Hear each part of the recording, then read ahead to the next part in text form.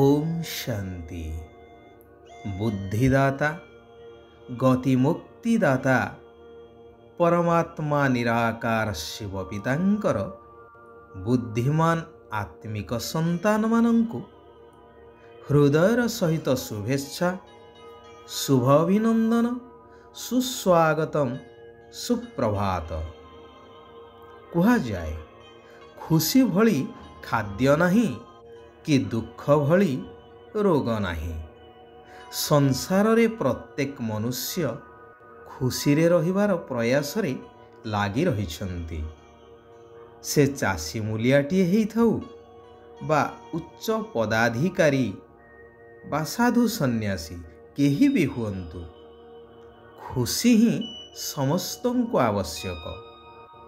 ସାଧୁ ଉଚ୍ଚତର ସାଧନାରେ ନିର୍ବିଘ୍ନ ରହିପାରିଲେ ଖୁସି ପାଇଥାନ୍ତି ତ ବସ୍ତୁବାଦୀ ଦୁନିଆରେ ବସ୍ତୁ ବୈଭବ ପ୍ରାପ୍ତରେ ମନୁଷ୍ୟ ଖୁସି ହୋଇଥାନ୍ତି ହେଲେ ବାସ୍ତବିକ ଖୁସି ଯାହା ନିରନ୍ତର ରହିଥାଏ ଏବଂ ସଦା ନିର୍ବିଘ୍ନ କରାଇଥାଏ ତାର ରହସ୍ୟ ଆଜିର ସମାଜ ସମ୍ପୂର୍ଣ୍ଣ ଭୁଲି ଯାଇଛି କହିଲେ ଅତ୍ୟୁକ୍ତି ହେବ ନାହିଁ ଯେଉଁ କାରଣରୁ ଆଜିର ସଭ୍ୟ ସମାଜ ସାରା ବିଶ୍ୱ ପଛେ ନର୍କେ ପଡ଼ିଥାଉ ମୁଁ ଉଦ୍ଧାର ପାଏ ନୀତିରେ ଚାଲୁଛନ୍ତି।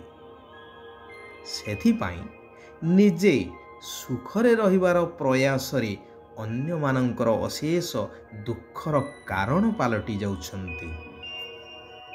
ସମାଜର ଅକଲ୍ୟାଣ କରି ଚାଲିଛନ୍ତି। ଛୋଟ କାହାଣୀଟିଏ ମନକୁ ଆସେ। ଥରେ ଜଣେ ସାଧୁ ଗୋଟିଏ ଗ୍ରାମକୁ ଆସିଥାନ୍ତି। ଗ୍ରାମର ମୁଖିଆ ନିଜର ବଡ଼ ପଣିଆ ଦେଖାଇବା ପାଇଁ ରାଜକୀୟ ଢଙ୍ଗରେ ତାଙ୍କର ସ୍ୱାଗତ ସତ୍କାର କଲେ। ମଧ୍ୟାହ୍ନ ଭୋଜନର ବ୍ୟବସ୍ଥା ନିଜ ବାସଭବନରେ କରେଇଲେ ଏବଂ ସାଧୁଙ୍କୁ ଆମନ୍ତ୍ରିତ କଲେ। ଭୋଜନ ଚାଲୁଥିବା ସମୟରେ ମଝିରେ ମଝିରେ ମୁଖିଆ ସାଧୁଙ୍କୁ ପଚାରୁଥାନ୍ତି ମହାତ୍ମା ଆପଣଙ୍କ ପାଇଁ ହିଁ ଏତେ ପ୍ରକାରର ସୁସ୍ୱାଦୁ ଭୋଜନର ବନ୍ଦୋବସ୍ତ କରେଇଛି। କାରଣ ଆପଣ ତ ସଂସାର ତ୍ୟାଗୀ। ଏସବୁ ଜିନିଷ ଆପଣଙ୍କୁ କ'ଣ ଶିଷ୍ୟମାନେ ଦେଉଥିବେ କି ସବୁଦିନ ସାଧୁ ସାମାନ୍ୟ ଆହାର ଗ୍ରହଣ କରି ସ୍ମିତ ହସି କହିଲେ ବାସ୍ତବିକ କଥା। ସେଇଥିପାଇଁ ଏସବୁ ଖାଦ୍ୟ ମୁଁ ସ୍ୱାଭାବିକ ଭାବରେ ଗ୍ରହଣ କରିପାରୁନାହିଁ ଯେହେତୁ ମୋର ଅଭ୍ୟାସ ନାହିଁ। ଏହିସବୁ ରାଜସୀୟ ବା ରାଜକୀୟ ଖାଦ୍ୟ ଖାଇବାର ମୁଁ ଅଭ୍ୟସ୍ତ ନୁହେଁ ଆମେ ସାଧୁ ଲୋକ। ସାଧୁ ଉଠିଗଲେ। ତାଙ୍କର ବିଶ୍ରାମ ପାଇଁ ମଧ୍ୟ ସୁନ୍ଦର ବ୍ୟବସ୍ଥା କରାଇଥିଲେ ମୁଖିଆ। ସେବକକୁ ମଧ୍ୟ ନିୟୋଜିତ କରିଥିଲେ ସାଧୁଙ୍କର ସେବା କରିବା ପାଇଁ। ସାଧୁ ବିଶ୍ରାମ କରନ୍ତି ସେବକ ଯାଇ ପ୍ରଣାମ ଜଣାଇ କହିଲେ ମହାରାଜ ଦୟାକରି ମୋତେ ଆପଣଙ୍କ ପାଦ ସ୍ପର୍ଶ କରିବାର ସୁଯୋଗ ଦେଇ ଦେଲେ ମୁଁ ଧନ୍ୟ ହୁଅନ୍ତି ସାଧୁ ବ୍ୟକ୍ତି ଜଣଙ୍କର ସେହି ସେବକର ସରଳତାକୁ ଦେଖି ଆନନ୍ଦରେ କହିଲେ ଠିକ୍ ଅଛି। ସେବକ ପାଦ ସେବା କରୁ କରୁ ଅନୁନୟ ଏବଂ ଶ୍ରଦ୍ଧାଭରା କଣ୍ଠରେ କହିଲା ପ୍ରଭୁ ମୁଁ ଗରିବ ଲୋକ ମୁଖିଆଙ୍କ ଭଳି ମୁଁ ଆପଣଙ୍କର ସତ୍କାର କରିପାରିବି ନାହିଁ। ହେଲେ ମୋ ମନ ବ୍ୟାକୁଳ ହେଉଛି। ଦୟାକରି ଆଜି ରାତ୍ରି ଭୋଜନ ମୋ ଭଙ୍ଗା କୁଡ଼ିଆରେ କରି ମୋ କୂଳର କଲ୍ୟାଣ କରନ୍ତୁ ମୋ ଜୀବନକୁ ସାର୍ଥକ କରିଦିଅନ୍ତୁ। ଏବଂ ମୋ ମନସ୍କାମନାକୁ ପୂର୍ଣ୍ଣ କରିଦିଅନ୍ତୁ। ଏହା କହୁଥିବା ସମୟରେ ଲୋକଟିର ଆଖିରୁ ଆନନ୍ଦର ଅଶ୍ରୁ ଝରିଯାଉଥିଲା ସାଧୁ ତାଙ୍କୁ ସାନ୍ତ୍ୱନା ଦେଇ କହିଲେ ଠିକ୍ ଅଛି ଆଜି ମୁଁ ତୁମ ଘରେ ରାତ୍ରି ଭୋଜନ କରିବି। ସାଧୁ ଗଲେ ଗରିବ ଲୋକଟି ଏବଂ ତାର ପରିବାର ସାଧୁଙ୍କୁ ପ୍ରଣାମ ଜଣାଇ ଯଥୋଚିତ ସମ୍ମାନ ଜଣାଇଲେ। ଆସନ ପକାଇ ଦେଇ ଖାଦ୍ୟର ବ୍ୟବସ୍ଥା କଲେ। ରୁଟି ଭଜା ଏବଂ ନିଜ ପାଳିତ ଗାଈର କ୍ଷୀର ଅତି ଶ୍ରଦ୍ଧାର ସହିତ ପରୋଷି ଦେଇ କହିଲେ ପ୍ରଭୁ ଏ ଗରିବ ପାଖରେ ଯାହା ଥିଲା ସେଇଆ ଦେଇଛୁ। କୃପା କରି ଗ୍ରହଣ କରନ୍ତୁ। ସାଧୁ ସେସବୁ ଆନନ୍ଦ ମନରେ ଖାଇଲେ ଏବଂ ଆହୁରି ମାଗିକି ମଧ୍ୟ ଖାଇଲେ। ତାଙ୍କୁ ବହୁତ ସନ୍ତୁଷ୍ଟି ଲାଗିଲା ଖୁସି ମଧ୍ୟ ଲାଗିଲା। ଯେହେତୁ ଲୋକଟି ଅନ୍ତରର ସହିତ ଆନନ୍ଦରେ ଶ୍ରଦ୍ଧାପୂର୍ବକ ତାହା ପ୍ରସ୍ତୁତ କରିଥିଲା। ସେଇଥିପାଇଁ ମଧ୍ୟ ଲୋକମୁଖର କଥାଟିଏ ଅଛି କି ହଗୁରି ହାତରୁ ଖାଇବ ପଛେ ଉଘେଇ ହାତରୁ ଖାଇବ ନାହିଁ। ଅର୍ଥାତ୍ ଗରିବ ମଳିମୁଣ୍ଡିଆ ସାଧାରଣ ଲୋକଟିଏ ହେଇଥାଉ ଶ୍ରଦ୍ଧାରେ ଯାହା ଦେଲେ ତା ହାତରୁ ଖାଇବା। ବହୁ ଗୁଣରେ ଭଲ ଯିଏ ଛତିଶ ପ୍ରକାର ଭୋଜନ ଦେଇ ମୁଁ ଦେଇଛି ମୁଁ ଦେଇଛି କହି ହୋଇଥାଏ। ଯେହେତୁ ଅନ୍ନର ପ୍ରଭାବ ମନ ଉପରେ ବହୁତ ଗଭୀର ଭାବରେ ପଡ଼ିଥାଏ।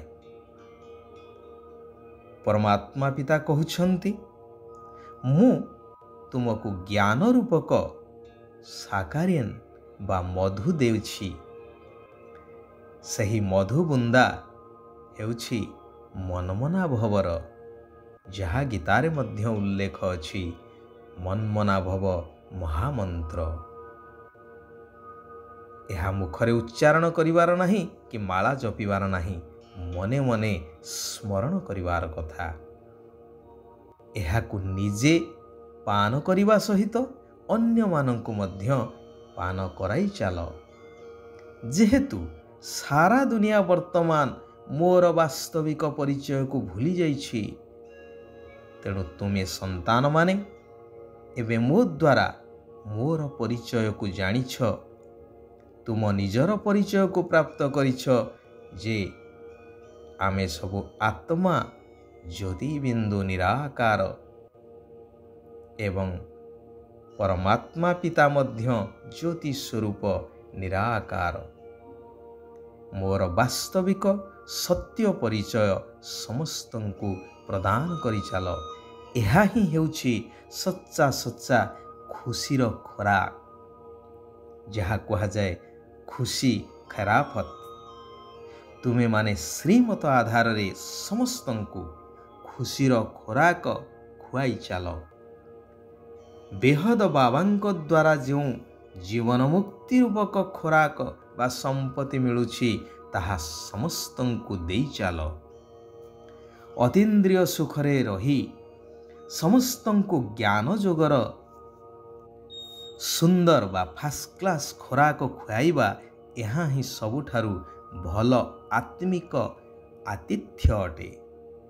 ଆତ୍ମା ଭାଇ ଭାଇକୁ ଦେଖିବାର ଅଭ୍ୟାସ କରିବା ଦରକାର। ନିଜକୁ ଆତ୍ମା ମନେକରି ଆତ୍ମା ଭାଇକୁ ଜ୍ଞାନ ଦେବାକୁ ହେବ।